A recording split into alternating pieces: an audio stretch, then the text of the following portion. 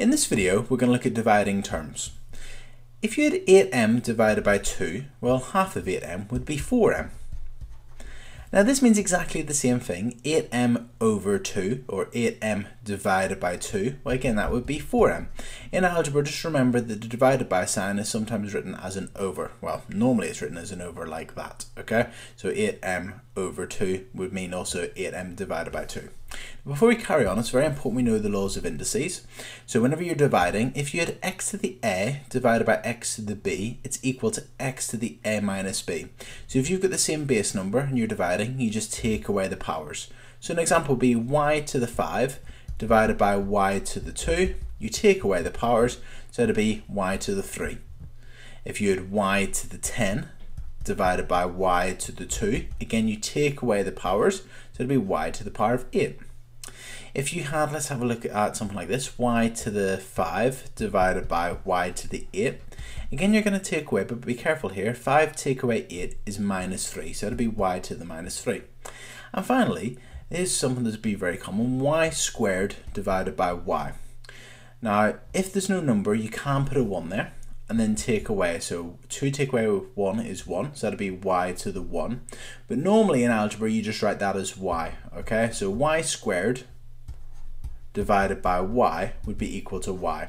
And that makes sense because y times y is y squared. Let's then have a look at some examples. So let's start off with 15m squared divided by 3m. So if you've got something like this and you've got numbers in front, let's just divide the numbers to begin with. So 15 divided by 3 is 5. Now let's look at the letters. m squared divided by m. Well, we just looked at y squared divided by y was y. So m squared divided by m, what's going to be equal to m? So the answer would be 5m. Just remember that if there's no number here, you could put a 1. 2 take away 1 is 1. But instead of writing 5m to the 1, you would just write 5m. Okay, let's have a look at another example. 8x to the power of 4 divided by 2x squared. Again, let's divide the numbers at the front. So 8 divided by 2 is 4. And then x. And then let's take away the powers.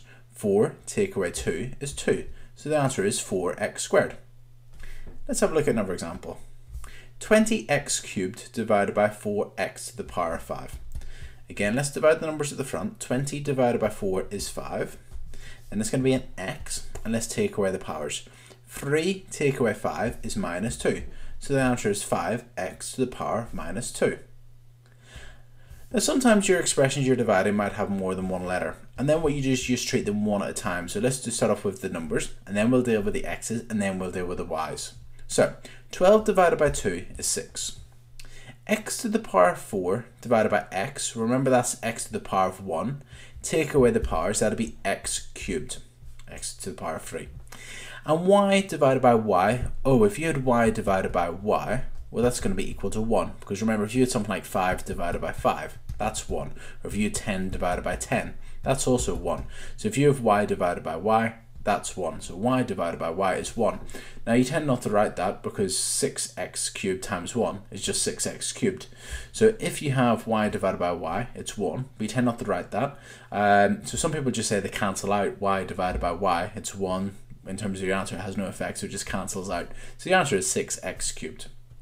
All right, 20x to the power of 8, y to the power of 8, divided by 10x cubed, y to the power of 4.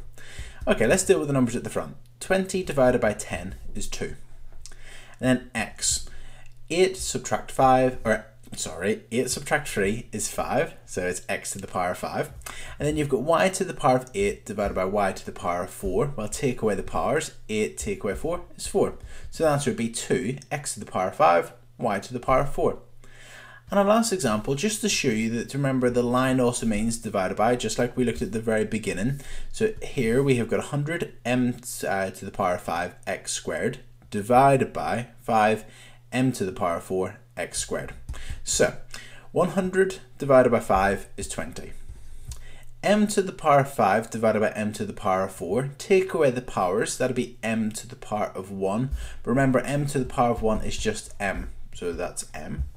And finally, x squared divided by x squared. Well, x squared divided by x squared, Well, that's just going to be 1. Remember, again, 10 divided by 10 is 1, and so on. Because it's x squared divided by x squared, it would be 1.